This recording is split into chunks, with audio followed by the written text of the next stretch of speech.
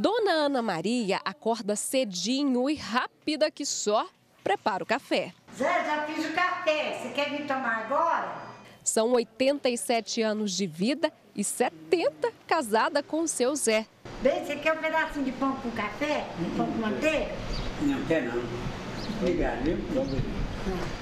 É um amor, apesar dela ser brava, quer dizer enérgica. Ela é muito enérgica, é positiva, tá?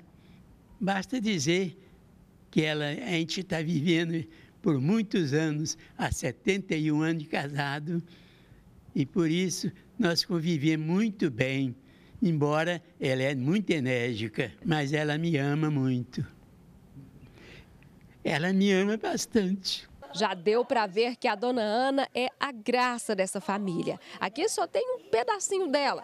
São oito filhos e mais de 20 netos. E ela adora cuidar de todos, ama a casa cheia. Sempre meus filhos têm que estar aqui, meus netos, meus genros, tudo aqui. Eu gosto. Panela cheia de comida, panela grande, eu gosto de fazer.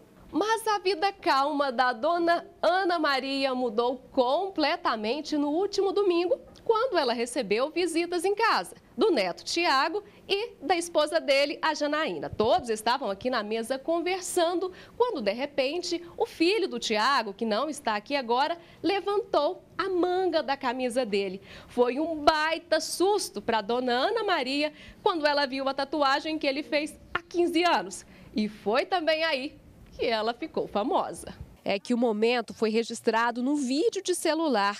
Dona Ana Maria pega uma bucha e tenta de todo jeito arrancar a tal da tatuagem, que ela não acredita ser de verdade. Só tá machucando. Deus, é tatuagem. Não é não,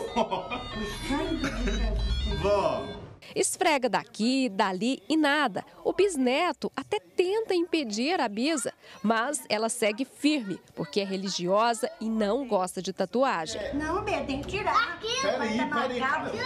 É a marca da besta. É a marca da besta. Quem filmou a reação da avó foi a Janaína. Aí ela correu pro tanque para pegar a bucha, eu corri para o quarto para pegar o celular. Falei, isso vai dar vídeo. E aí quando eu cheguei, ela já estava esfregando a tatuagem dele. Vem cá, você falou que sai, eu quero ver se sai mesmo. O vídeo foi postado numa rede social do Tiago e somando os compartilhamentos, já teve milhares de visualizações. Tá sendo o viral da semana, né? O Brasil inteiro tá compartilhando esse vídeo e para a gente foi muito importante. Foi um momento de humor, né? Cômico da família, mas acaba que houve uma relação de respeito ali em relação a ela. Ela deixou uma mensagem, né? Então a gente está entendendo que tem um propósito nesse vídeo e está sendo maravilhoso. Eu acho que as pessoas se identificaram.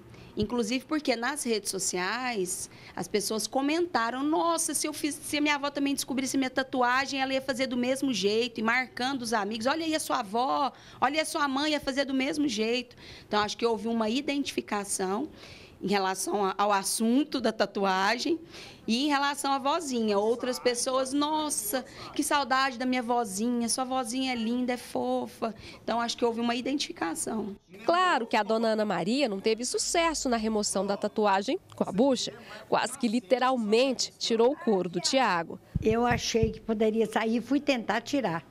Mas não sai porque fe- fere a pele, coisa que, que não pode fazer porque está marcando o corpo. E o corpo é tempo do Espírito Santo de Deus. Eu achei ruim por isso. Talvez ele não sabia que não poderia fazer isso, né? E ele fez por inocência.